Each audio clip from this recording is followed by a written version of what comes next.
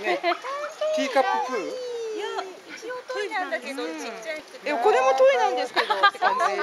親トイちょっとアレルギー？うんちょっと耳がもうね11歳そんななのえだからいろいろちょっと。ー、そんなにもう言ってんだ。なんです。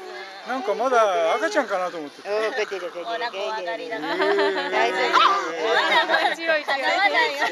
対叶わない。え白シュナ可愛い。えシュナなの？これ。えー、人懐っこ。